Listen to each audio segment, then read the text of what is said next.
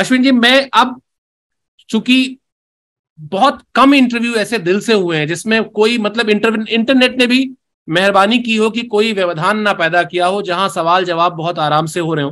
जी। और ये परंपरा से अलग हटके भी इंटरव्यू हुआ है वरना अमूमन बातचीत होती है कि कब तय किया कि प्रोफेशनल करना है गुरु कौन कौन से रहे उन गुरुओं ने क्या क्या सिखाया उन गुरुओं के बारे में बताइए।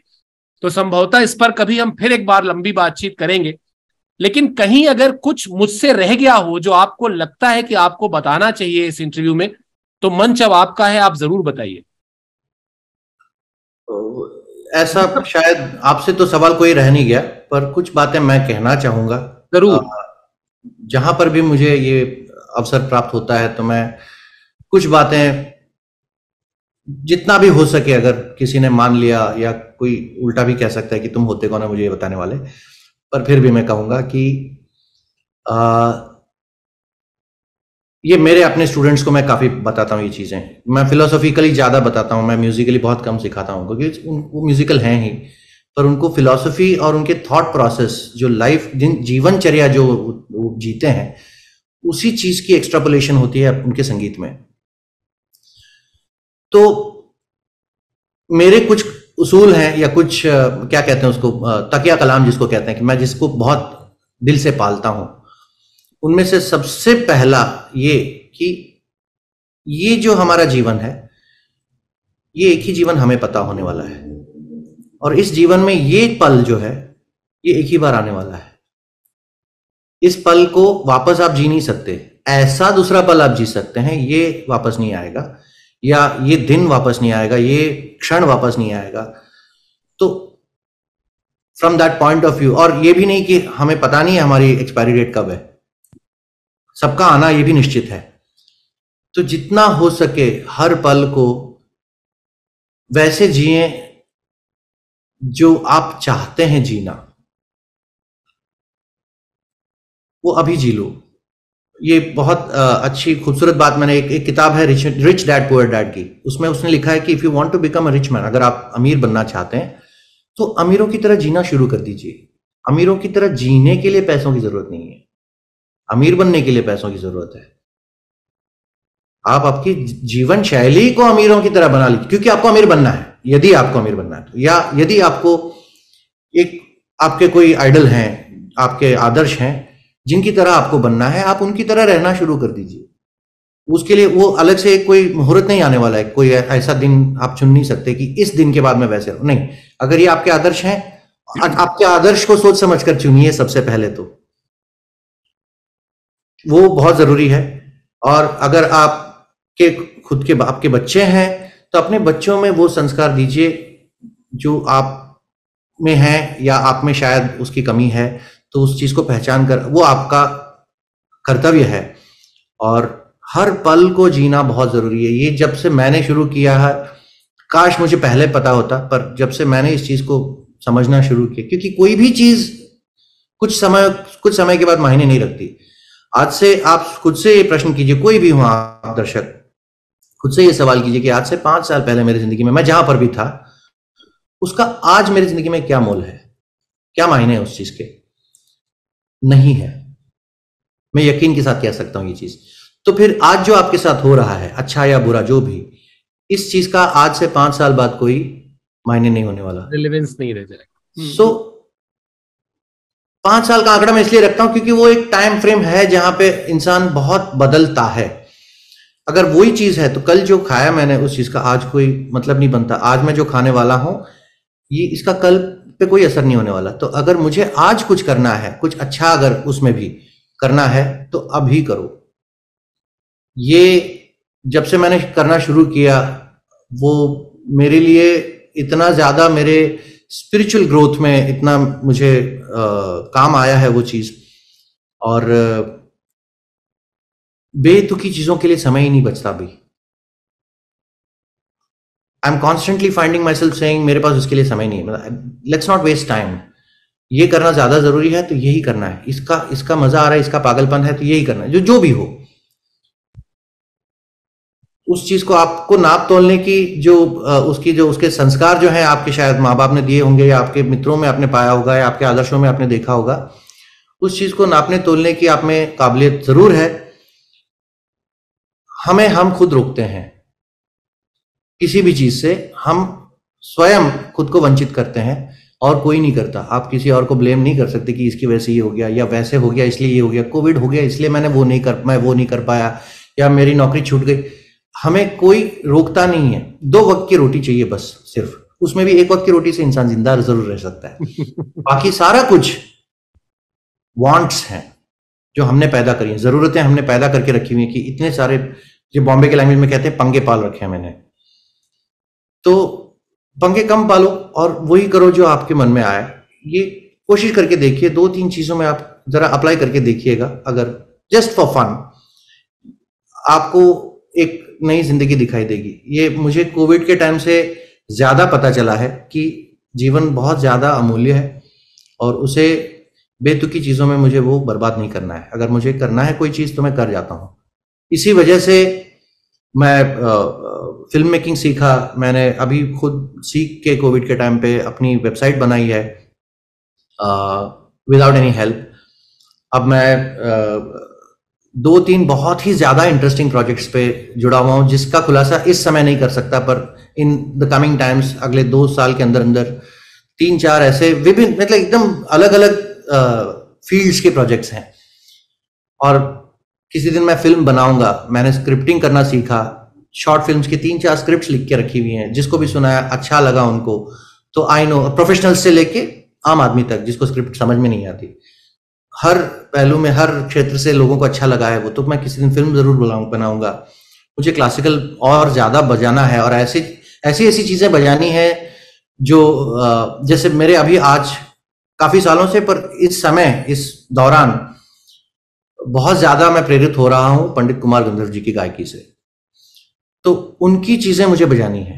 उनकी गायकी, उसमें जो श्रुतियाँ लग रही हैं, और वो बेसुरा ना लगे, श्रुतियाँ लग रही हैं अवश्य, पर जैसे दरबारी में उनके निषाद और धैवत का एक अलग ही लगाव है वो।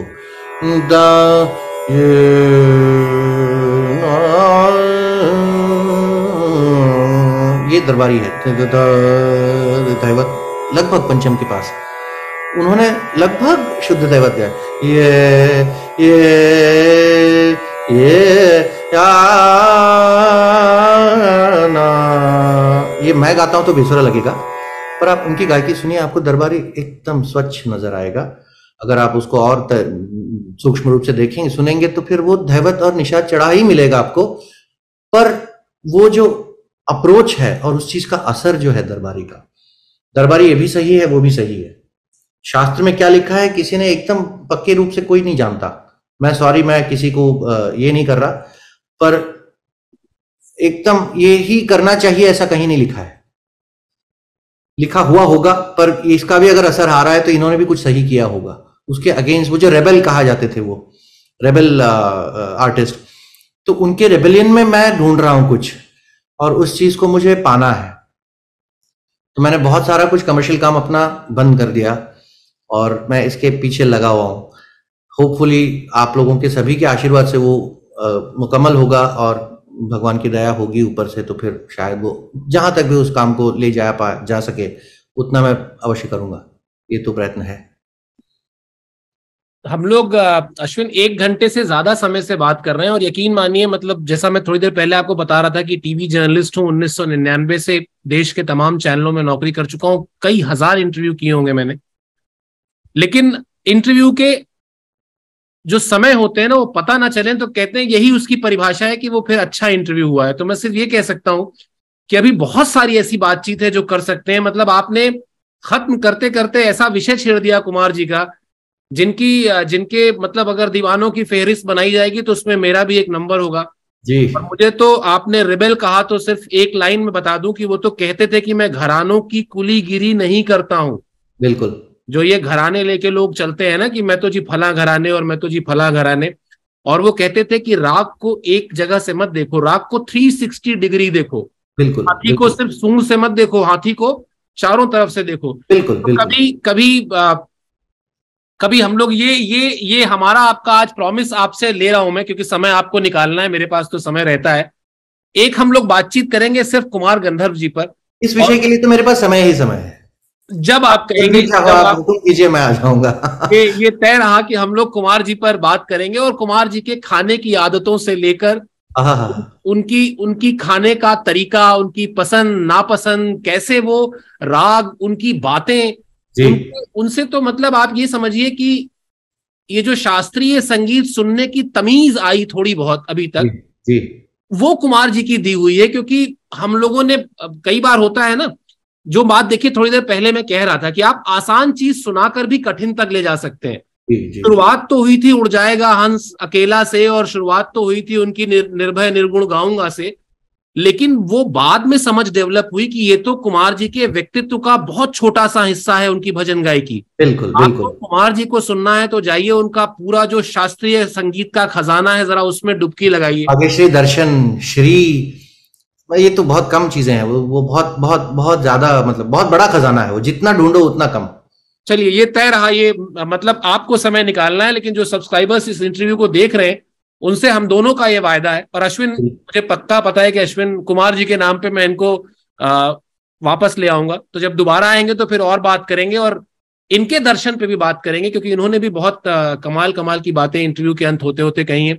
बहरहाल अभी के लिए अश्विन भाई बहुत बहुत धन्यवाद। माफ़ी चाहूँगा आपको भाई कह दिया। अभी। नहीं नहीं बिल्कुल है तो। आप आप आप कलाकारों को भाई कहने से पहले सोचना चाहिए क्योंकि आप लोग बहुत गुणी लोग हैं। अरे नहीं नहीं नहीं नहीं। बहुत बहुत सारा दरिया है। जो ये ये भी बात है कि ये माँ कहती थी कि कभी ये मत समझ उनको ये डर था कि कहीं मेरे अंदर घमंड ना आ जाए। तो माँ ये कहती थी कि और कितनी सच बात है ये कि वो जो म्यूजिकल थॉट प्रोसेस जब उस समय आ रहा है किसी आर्टिस्ट का सेम राग दो दिन एक जैसा नहीं आता। आना नहीं चाहिए। अगर सेम आ रहा है तो फिर वो कहीं ना कहीं खोट है उसमें। नहीं आता इसीलिए क्योंकि उस समय जिस दिन अच्छा नहीं आया, उस समय उसका जो कनेक्शन है, उसकी एक जो ऑनेस्टी है, वो शायद कहीं ना कहीं कम है। और जिस दिन अच्छा आ रहा है, उस दिन ज़्यादा ऑनेस्ट बनता है। ऑनेस्ट तभी बन सकता है आदमी जब उससे वो झूठ निकाल दे अपने शरीर से, अपने ये से सिस्टम से। और from that point of view हम क्रिएशन नहीं कर सकते। ये मैंने क्रिएट किया है, नहीं हो सकता। जिसको ये लगता है, शायद वो खुद से झूठ बोल रहा है या शायद उसको पता नहीं है वो चीज़। हम ज़रिया हैं we are a medium of expression किसी और डायमेंशन से म्यूज़िक हमसे बात करने की कोशिश कर रही है। और उसकी ऊर्जा हम खींच रहे हैं और कलाकार बल्कि हम्बली हम उसका ज़रिया बन जाते हैं हमें चुना जाता है ज़रिया बनाने के लिए। इसलिए आप मेरे पर्सनालिटी को नहीं पर मेरे अंदर की शायद उस ऊर्जा के बहाव को आप नमन कर रहे हैं और उस नमन को मेरे मेरा भी नमन। बट uh, हमारा कुछ नहीं है उसमें।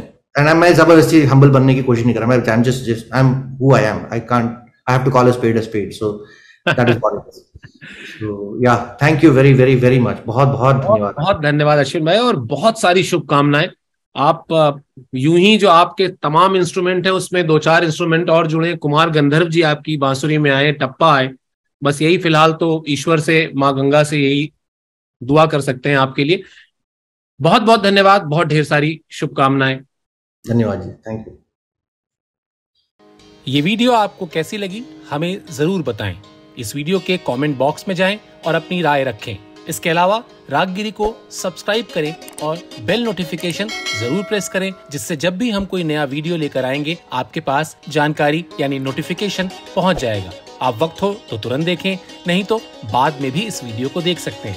हम आपको बता दें कि रागगिरी भारतीय शास्त्रीय संगीत के बारे में जागरूकता फैलाने का एक मंच है, जो एक रजिस्टर्ड ट्रस्ट है और 2014 से हम छोटे बच्चों के लिए खास तौर पर ये मुहिम चला रहे हैं, जिसका टाइटल है, सुनेंगे तभी तो सीखेंगे।